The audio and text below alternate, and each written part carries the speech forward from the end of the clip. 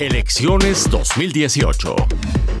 Cobertura especial. El candidato de la coalición por México al frente a la presidencia de la República, Ricardo Anaya Cortés, aseguró que de ganar la elección del 1 de julio, será un presidente que apoye a las mujeres y se comprometió a recuperar la paz y la seguridad de la Ciudad de México.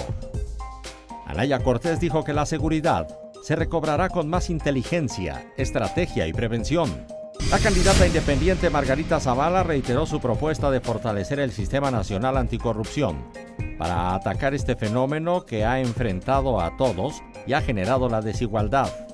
Durante una reunión con la comunidad mexicana de ascendencia libanesa, se pronunció en favor de la libertad en la economía y en el libre mercado, así como en el respeto a la libertad privada y a las ganancias obtenidas lícitamente.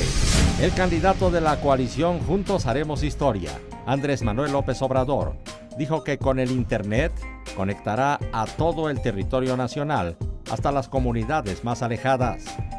En Zacatecas, López Obrador ofreció que la conexión a Internet sea gratuita en las carreteras, plazas públicas, hospitales y escuelas del país. El candidato presidencial de la coalición Todos por México, José Antonio Mir, advirtió que en esta elección se escogerá entre justicia y amnistía, entre quien ataca y calumnia a soldados, pilotos y marinos, y quien ha elegido estar palmo a palmo con las Fuerzas Armadas.